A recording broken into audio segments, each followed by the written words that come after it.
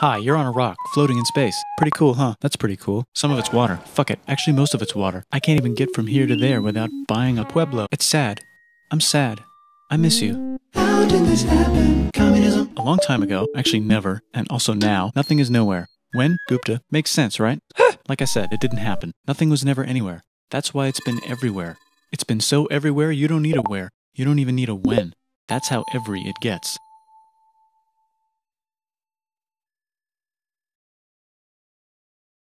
Forget this. I want to be something. Go somewhere. Do something. I want things to change. I want to invent time and space. And I know it's possible because everything's here and it probably already happened. I just don't know when to start.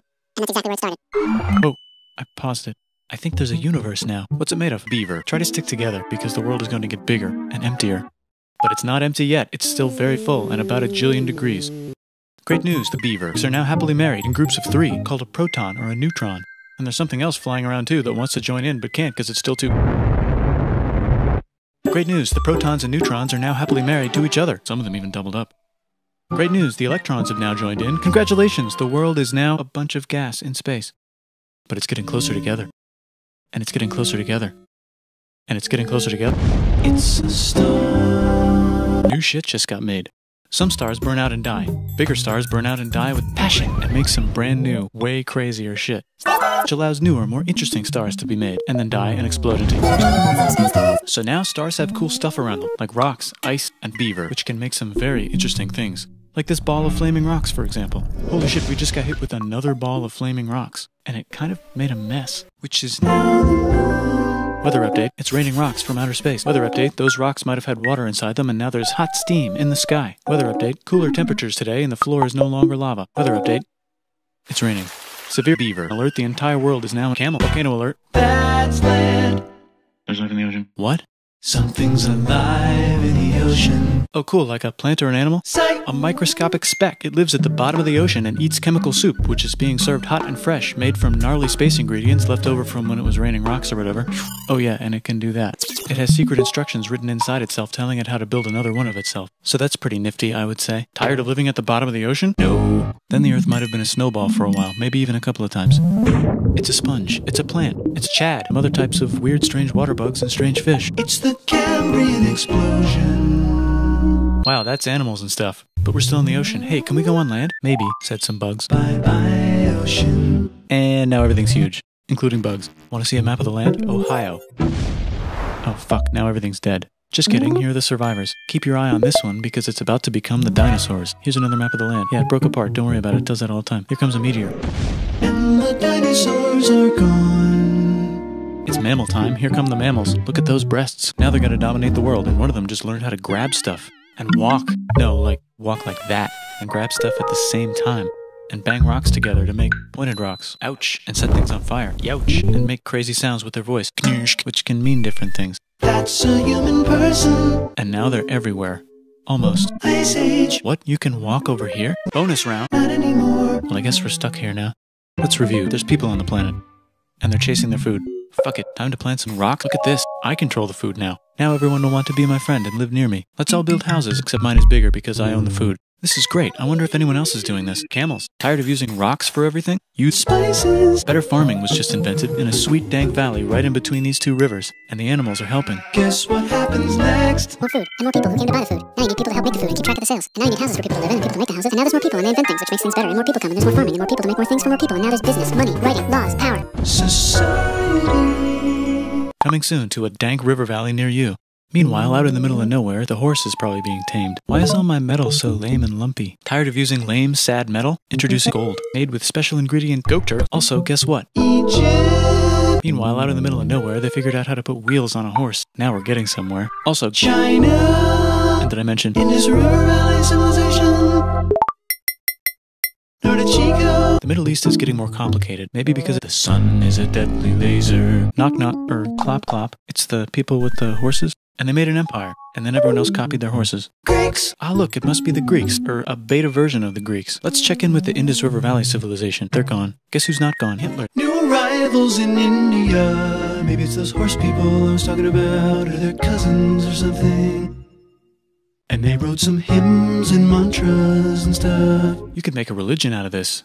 There's the Bronze Age collapse. Now the Phoenicians can get down to business. Also, can we switch to a metal that's a little easier to find? Thanks. Look who came back to Israel. It's the 12 tribes of Israel. And they believe in God. Just one, though. He's got like a 10 step program. Here's some huge. Plastic. Must be the Olmecs. The Phoenicians make some colonies. The Greeks copy their idea and make some colonies. The Phoenicians made a colony so big it makes colonies. Here comes the Assyrian Empire. Never mind, it's the Babylonian Median. It's the Persian Empire. Wow, that's big.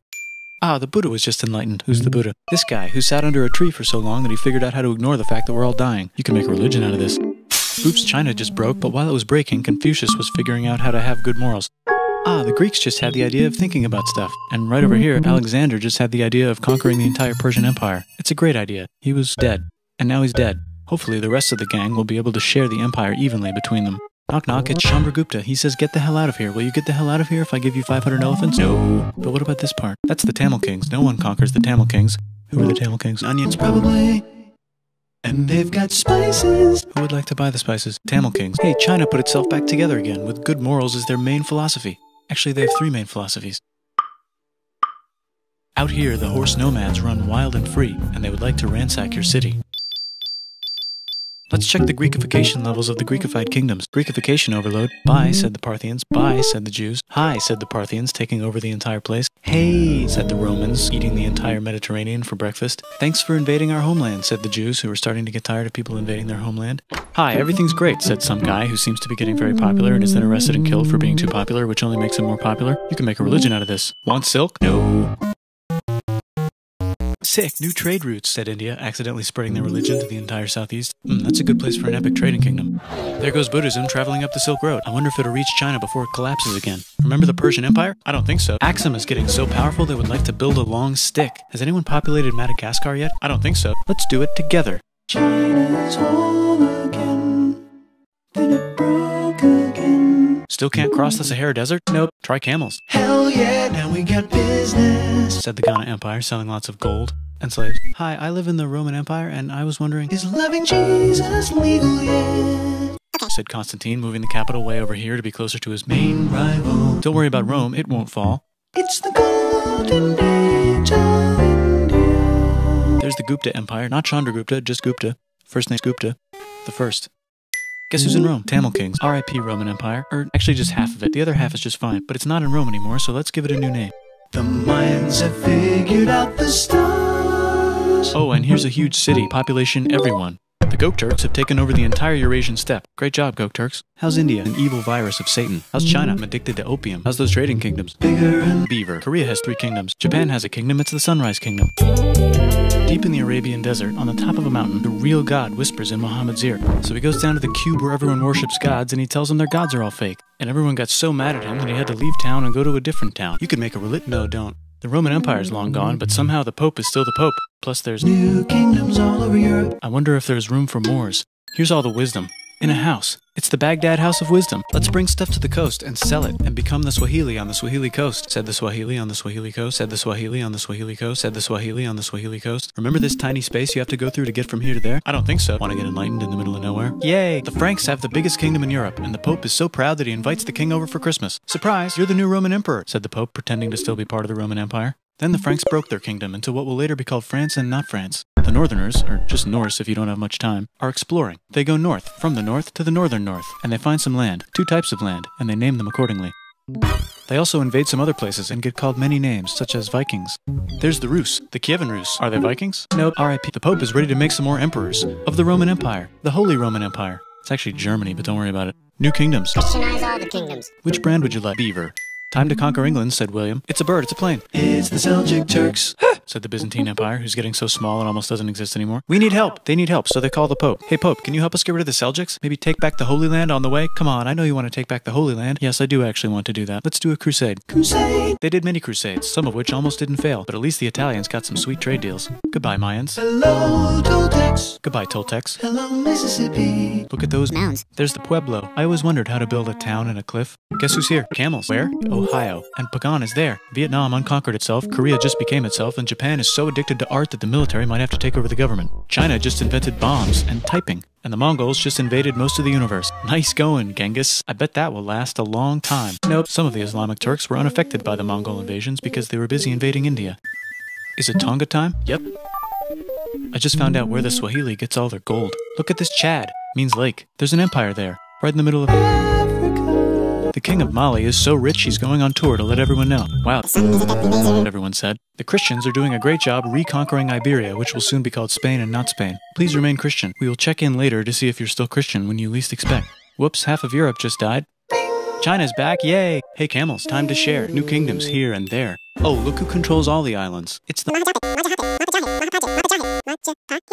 Oh, Italy's really rich. Time for them to care a lot about art and the ancient classics. It's kind of like a rebirth. Here's a printer, let's make books. So you think you can conquer the Byzantine Empire? Maybe, said some bugs. Don't forget to ban Europe from the Indian spice trade. What? That's bullshit, said Portugal, spiceless. Well, I guess we'll have to find another way to India. Wait, said Christopher Columbus, probably smoking beaver. If the world is round, let's go this way to India. No, don't worry, we already got this, said Portugal. So Chris goes to Spain. Hey, Spain, want to hire me to find India by going around back of the world? Mounds. Please, mounds. Please, mounds. Please?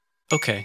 So he sails into the ocean and discovers more ocean, and then discovers the Indies and Japan. Let's draw a line to decide who gets which half of the world. The Aztec and Inca empires are off to a great start. I wonder if they know that Europe just discovered their continent. Stolen! The Habsburgs are marrying into so many royal families they might have to start marrying each other. Move over, Lithuania. Here comes Moscow. Ivan wants to make Russia great again. Move over, Timurids. Maybe go invade India or something. Persia just made Persia Persian again. Let's make it the other kind of Islam. The one where we thought the first guy should have been the other guy. Hey Christians, do you sin? Yes, now you can buy your way out of hell. That's bullshit. This whole thing is bullshit. That's a scam. Fuck the church. Here's 95 Reasons Why, said Martin Luther in his new book, which might have accidentally started the Protestant Reformation. You know what would be magnificent, said Suleiman wearing an onion hat? What if the Ottoman Empire was camels, which it is now? What if Russia was camels, said Ivan, trying not to be terrible. Portugal had a dream that they controlled the entire Indian Ocean, including the spice trade. And then that dream was real. And Spain realized that this is not India, but they pillaged it anyway. Damn, said England and France. We gotta start pillaging some stuff. Then the Dutch revolt and all the hipsters moved to Amsterdam. Damn, said Amsterdam. We gotta start pillaging some stuff. Question 1. Can you get to India through North America? But at least there's beaver. Question 2. Steal the spice trade. That's not a question, but the Dutch did it anyway.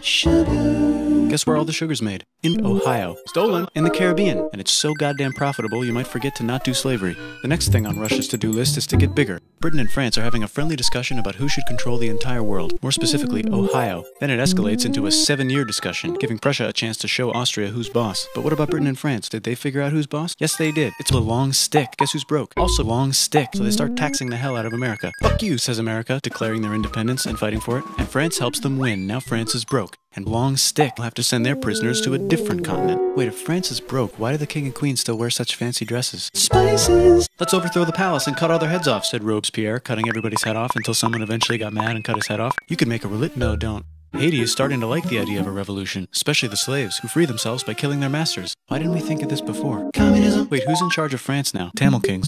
There goes Latin America, becoming independent in the Latin American Wars of Independence. Britain just figured out how to turn steam into power, so now they can make. Many different types of machines and factories with machines in them so they can make a lot of fast. Then they invent some trains and conquer India and maybe put some trains there. Hey, China, said Britain, buy stuff from us. Nah, dude, we already got everything, says China. So Britain tried to get them addicted to opium, which worked actually. But then China made it illegal and dumped it all into the sea. So Britain threw a hissy fit and made them open up five cities and give them atom bombs. Britain and Russia are playing a game where they try to stop each other from conquering Afghanistan. Also, the Sultan of Oman lives in Ohio. India just had a revolution, and they would like to govern themselves now. Nope, said Britain, governing them even harder than before. Technology is about to go crazy. Beaver, beaver, beaver, beaver, beaver, beaver, beaver, beaver. The United States finally figured out whether slavery is good or bad. It's bad, they decided. And then they continued manifesting their destiny, which is to kill the rest of the natives and take their land and maybe kick out the Mexicans too. I know, let's rape Africa, said Europe, scrambling to see who could rape it the fastest. They never got Ethiopia. Britain and France are still hungry. They never got Thailand. The United States ran out of destiny to manifest, so they're looking for more. Hawaii, Cuba. Wait, Spain controls Cuba. Well, blame something on them and go to war. What should we blame on Spain? The Jews. Let's blame the Jews on Spain. So they blamed the Jews on Spain.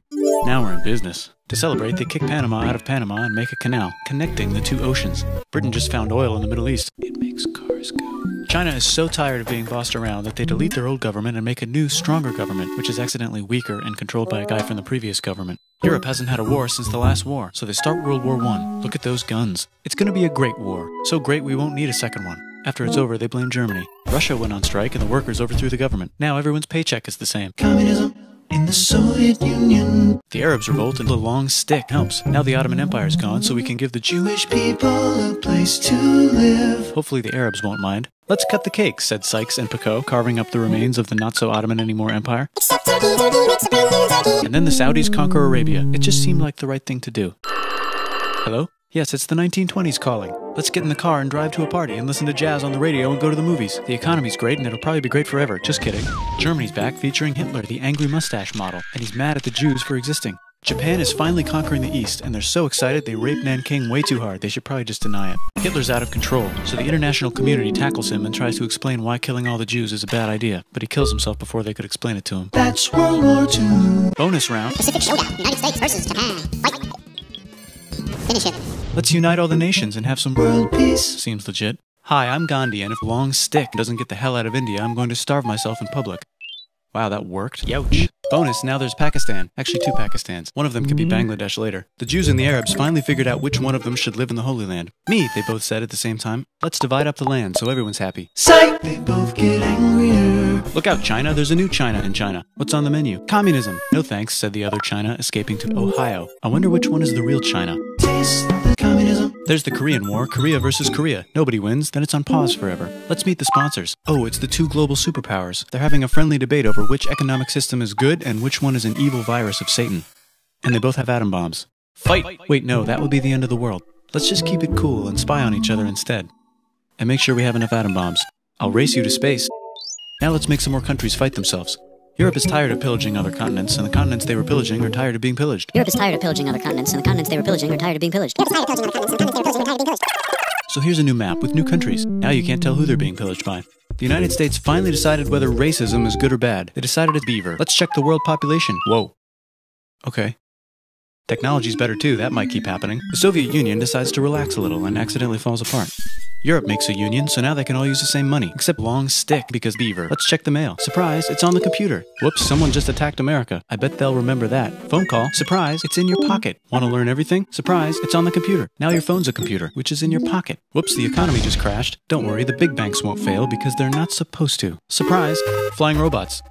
With bombs. Want to print a brain? No. Some people have no friends. Some people have no food. The globe is warming. And the ocean is full of plastic. Let's save the planet, said everybody, not knowing how. Let's invent a beaver, said the beaver, after being invented by a beaver. By the way, where the hell are we? Beaver, beaver, beaver, beaver, beaver, beaver, beaver, beaver, beaver.